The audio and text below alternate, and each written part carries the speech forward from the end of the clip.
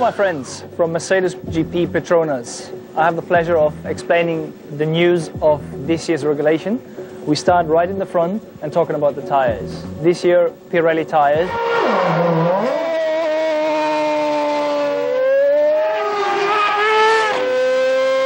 And obviously our job is to get used to those tires and change the car in terms of its character and adapt it to the tire character that uh, obviously they're different to what we used to.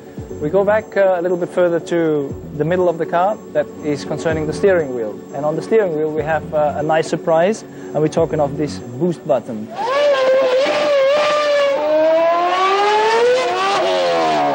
It's called the KERS system and that is an energy saving system due to the brake effort that you put.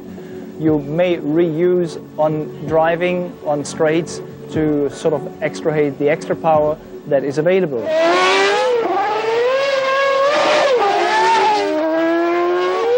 Those times are obviously limited uh, and you may choose when to use them. Then we go further through all the news that the car anyway has, and I come to that later.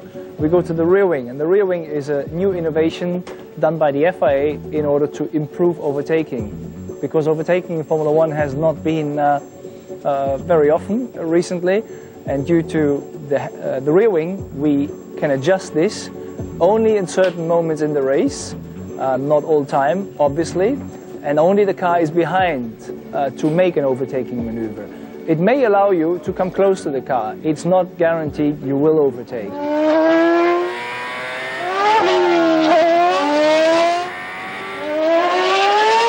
That is something that needs to be maybe fine-tuned together with the FIA. But uh, for me, a very interesting innovation in order maybe to improve overtaking in future.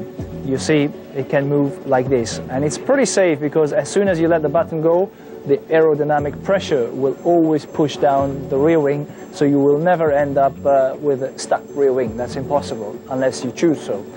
Nevertheless, we have lots of new details in the car that are hidden under this beautiful cover, and uh, obviously we hope that those news do allow us to fight for podiums and may even victories. Cross fingers, let's see.